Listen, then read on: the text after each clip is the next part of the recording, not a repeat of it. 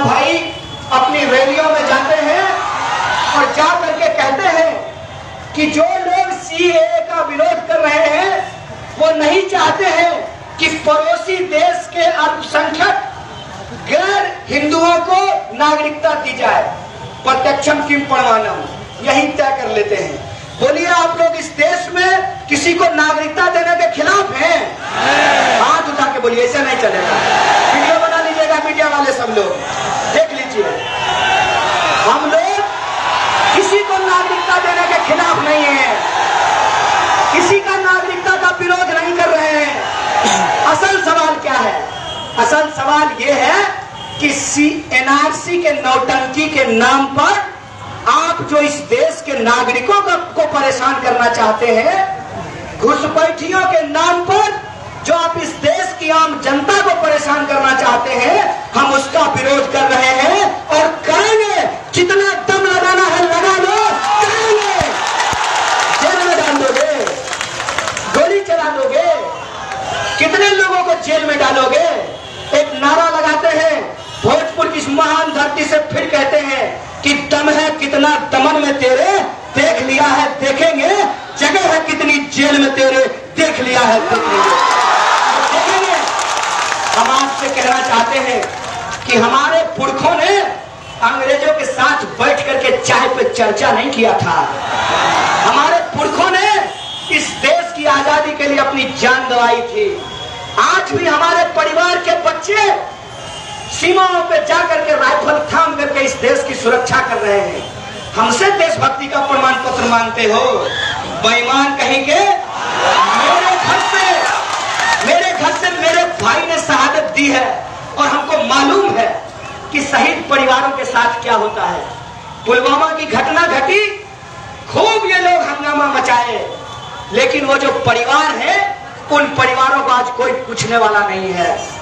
आप एक साल हो गए हैं। उन रिपोर्टों को उठा करके देख लीजिए। आज तक ये नहीं तय हो पाया है कि आरडीएक्स कहाँ से आया। किसकी लापरवाही की वजह से लोगों की जान गई। और ये सवाल देश के जवान पूछ ना सके, देश के नौजवान पूछ ना सके, इसीलिए रोज उनको नए मुद्दे में उलझा दिया जाता है। कहते हैं ना कि आप जादूगर का गिली गिली गिली गिली पम पम छू सुनने में रहे।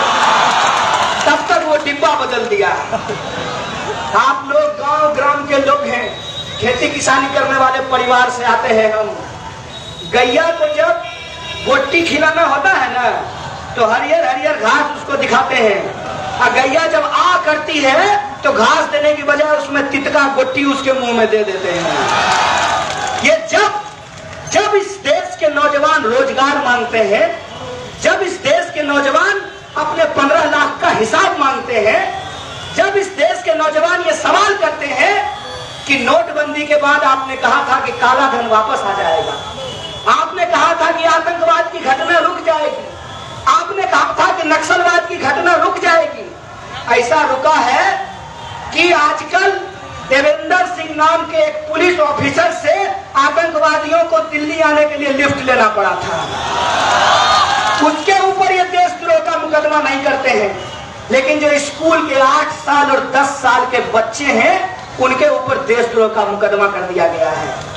डॉक्टर कफील खान, इस देश के, इस राज्य के स्वास्थ्य मंत्री को यह फुर्सत नहीं थी कि जब मुजफ्फरपुर में नौनिहाल चमकी बुखार से मर रहे थे तो उनकी जाकर के सेवा करें, उनकी देख रेख करें। डॉक्टर आकर के कैंप लगाते हैं। मुजफ्फरपुर डॉक्टर कफील को बहत्तर घंटे हो गए हैं जमानत मिल गई है, लेकिन उनको जेल से बाहर नहीं आने दिया गया खबरों में बने रहने के लिए फोरम फोर को सब्सक्राइब करें और नोटिफिकेशन पाने के लिए बेल आइकन दबाएँ।